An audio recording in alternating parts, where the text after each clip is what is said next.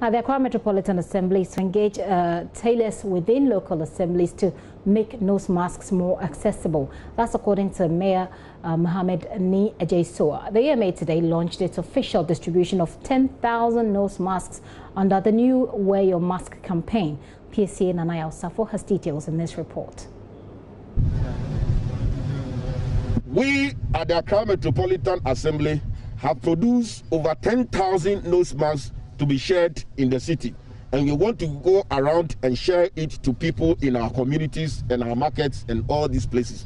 The campaign comes barely a week after assurances from the Minister of Health, Kwaku Agyeman-Manu, that government is expecting some 3.6 million nose masks from selected local manufacturing industries.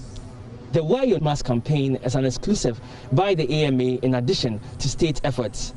Residents from Lartebiokorshie, Jamestown, and many other areas, traders, and residents within communities are to expect more of this to fight against coronavirus. Mayor of Accra, Mohammed Nii Adjei Sowah, also announced that local tailors will be recruited to help make more nose masks within the environs of Accra. We'll be working closely with other assemblies within the Greater Accra metropolitan area, especially within the restricted um, assemblies area so that we will encourage everyone also to do so. And all assemblies could use some limited resources that they have to start producing and engage the services of the dressmakers and the tailors in our communities so that they can also make some money.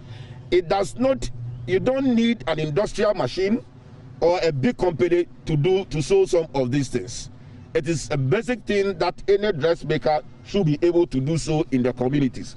And we are also encouraging philanthropists, corporate bodies, and all organizations as well, also that have any resource to channel some of their resources into the production of nose masks. He told Joy News that details of costing will be made known in due time. In the end, we'll render an account to the people because um, that, that, that cannot be done under the uh, guise of um, COVID 19, no accountability.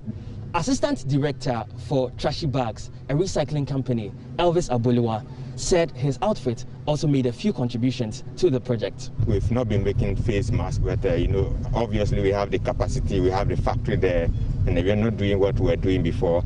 So we, we just decided to start making face masks to help with this. So when the mayor mentioned that, we said, yes, starting with our own country, Ghana here, we can be a big contribution. So uh, the minimum production that we just uh, kickstarted and then had was 200 face masks, which we donated for, for the purpose of the, the launch of this program.